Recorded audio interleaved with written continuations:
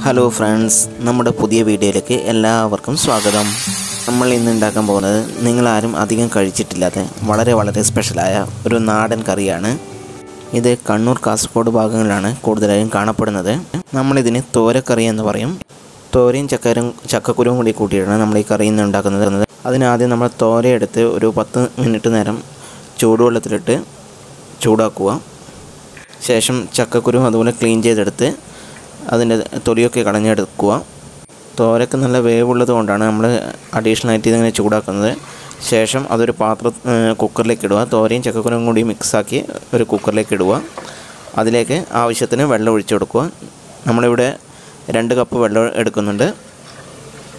തോര ഒന്നെങ്കിൽ തലേന്ന് കുതിർത്ത് വെച്ചാൽ മതി. ഇല്ലെങ്കിലാണ് ഇതുപോലെ ചൂടാക്കുക. അതിന്റെ അകത്തെ ഇൻഗ്രീഡിയൻസായ ഉപ്പ് ഇട്ട് കൊടുക്കുക. അതുപോലെ മഞ്ഞൾപ്പൊടിയും പറങ്കിപ്പൊടി അഥവാ മുളക് പൊടി നമ്മൾ ഇതിനകത്തേക്ക് ചേർത്ത് കൊടുക്കും. ഇതൊക്കെ ചേർത്ത് കഴിഞ്ഞ് ഒന്ന് നന്നായി ഇളക്കി കൊടുക്കുക.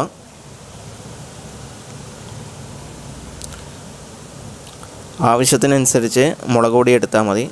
കൂടുതൽ എരിവ് വേണം വേണമെന്നുള്ളവർ കൂടുതൽ ഉപയോഗിക്കുന്നത്. അതിനുശേഷം ഒരു ആറ് വിസിലടിക്കുന്നവരെ നമ്മൾ കുക്കറിൽ ഇത് വേവിക്കണം.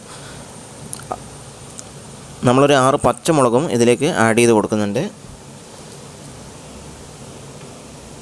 തോരക്കറി നല്ല ഹെൽത്തി ഫുഡാണ് നമുക്ക് ഇത് അടുപ്പിലേക്ക് മാറ്റാം.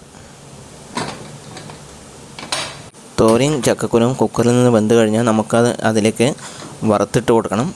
അതിനു വേണ്ടി നമുക്ക് വെളിച്ചെണ്ണയും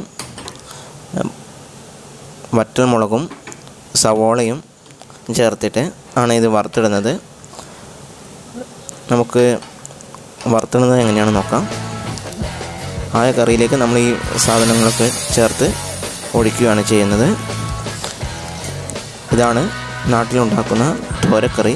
വളരെ ടേസ്റ്റിയും ആരോഗ്യകരവുമായ ഒരു ഭക്ഷണമാണിത്. വീഡിയോ ഇഷ്ടപ്പെട്ട എല്ലാവരും ചാനൽ സബ്സ്ക്രൈബ്